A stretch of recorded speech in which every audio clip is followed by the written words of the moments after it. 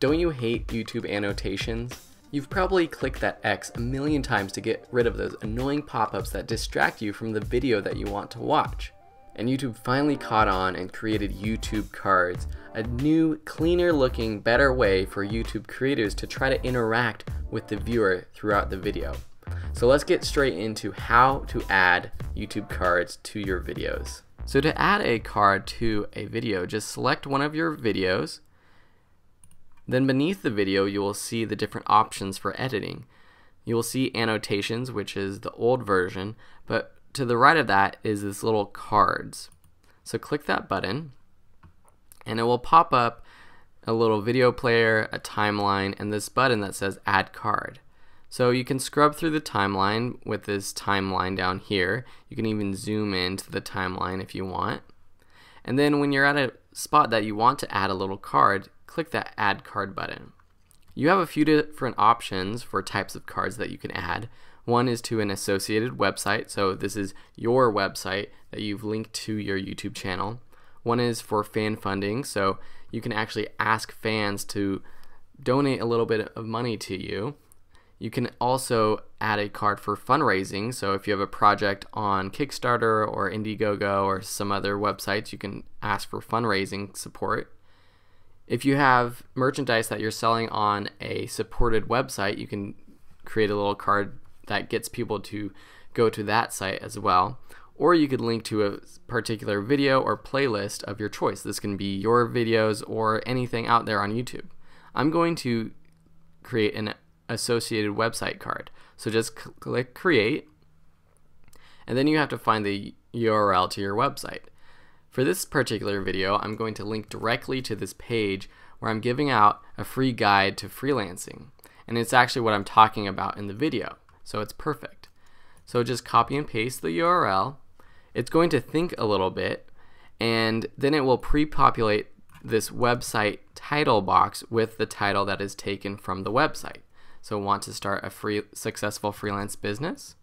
So that's a pretty good title for the website, so I'm just going to leave that there.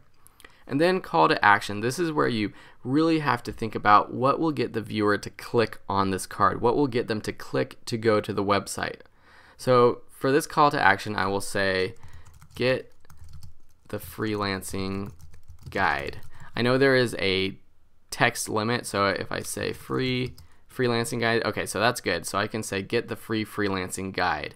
But if I say now, you will see that it's four characters over the limit. So you are only limited to a certain amount of text.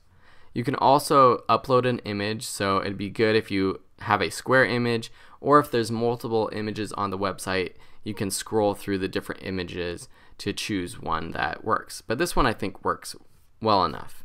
So then you just click create card and now you will see this little card pop up on the top right of the YouTube player right here. So if we go back to our video and we play through it, you will see that right around seven seconds, this little eye pops up in the top right. And so if the viewer is interested, they can click this and this little card pops up. Want to start a successful freelance business?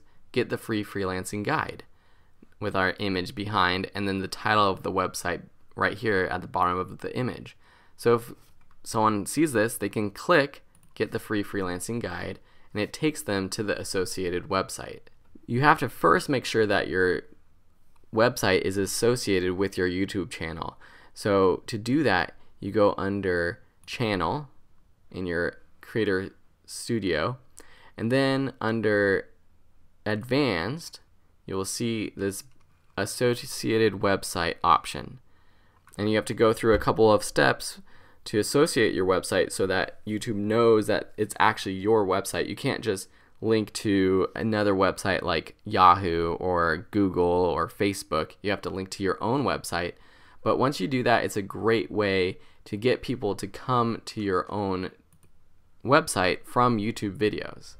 The best thing about the YouTube cards is that it's mobile friendly so that it works on iPhones and tablets and any other smartphone, unlike the annotations from before. So wherever you're watching it, people can actually click these cards and get to an associated website. So it's great for YouTube creators like myself to try to promote things offline, off on my own website. So if you have any questions about creating YouTube cards, please let me know. Otherwise, I look forward to seeing what you do with your own YouTube cards. Hey YouTube, you like that video? Well, please subscribe to the channel for more. Check out our website for articles, webinars, books, and more. And of course, check out our online course library, ranging on topics from video making, motion graphics, photography, starting a business, freelancing, to beer brewing, resume writing, adopting a cat, and much more.